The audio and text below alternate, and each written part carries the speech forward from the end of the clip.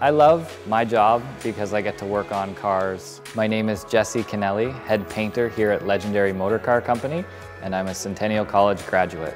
The Centennial College Auto Body program gave me the skills I would need to complete my tasks here, painting the vehicles properly, making sure they're getting done correctly the first time. Going to Centennial College really opened up my eyes to what I could do with my auto body career. And the professors there really pushed me to be better, aim for perfection. So don't just settle for an everyday job, try to aim for that dream job. To me, Centennial College is number one.